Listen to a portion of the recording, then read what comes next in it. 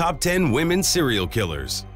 We've seen a lot of men killing to vent out their sexual frustration and to assert their dominance over their female counterparts. But gone are the times when women were considered innocent and way too timid. We present you the top 10 women serial killers who have committed horrific crimes that have shocked society to the core. Number 10. Joanna Dennehy, this 32 year old British woman was found guilty of treacherously killing three men and throwing away their bodies in a ditch in 2013. The verdict was life imprisonment, and in his order, the judge wrote that Joanna is a calculated, cruel, manipulative, and selfish serial killer. As per her psychologist, she wanted to see how it would feel to see if she was as cold as she thought of herself.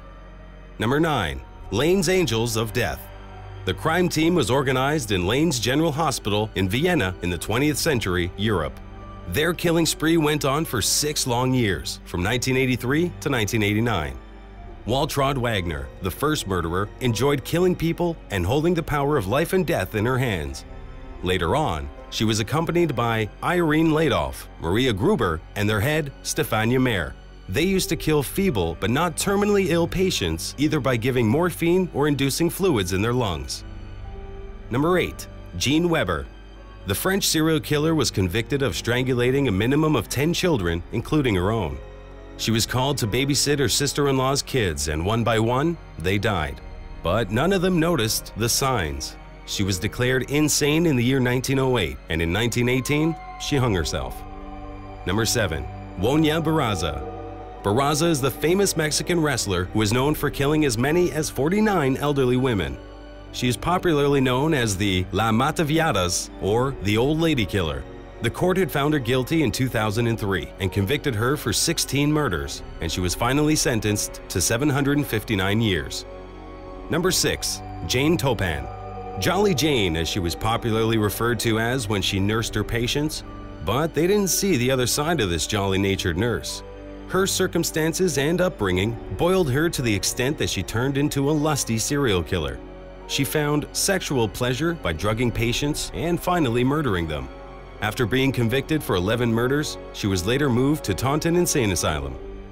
Number 5. Maria Swanenburg In a span of three years from 1880 to 83, she poisoned with arsenic each and every family she worked for, starting with her own. Her first target was her own mother, and later on, her own father. The motive behind her killing was to acquire insurance policies or inherit the property. Number 4.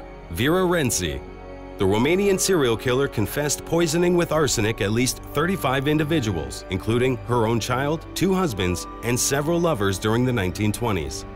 In 1972, the Guinness Book of World Records refuted the claim of her killing 35 individuals. Since then, the story has appeared with distorted versions and with varying details. Number 3. Aileen Wuornos Charlize Theron portrayed Aileen in the famous and award-winning movie Monster. She never saw her parents and was sexually abused by her grandfather as a child. When she was 15, she took prostitution as her source of livelihood, and later on, she killed seven victims on the pretext of self-defense. She claimed that they tried raping her, Finally, she was convicted for a decade and executed in 2002. Number 2.